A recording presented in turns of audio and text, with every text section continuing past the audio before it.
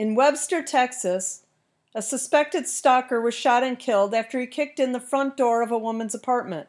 The shooting happened around 9 p.m. Monday. When Houston police arrived, they found the man with a gunshot wound to the chest. He was pronounced dead on the scene. Investigators say the man had kicked in the front door and was entering the apartment when the woman shot him once. The woman told the police that she moved to this apartment to get away from the suspect but he obviously found out where she lived. Police found significant damage to the apartment's door frame. There were several other people inside the apartment at the time of the shooting.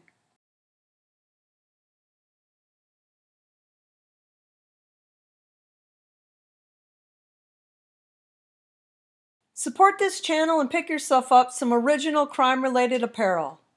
Look for the link in the description.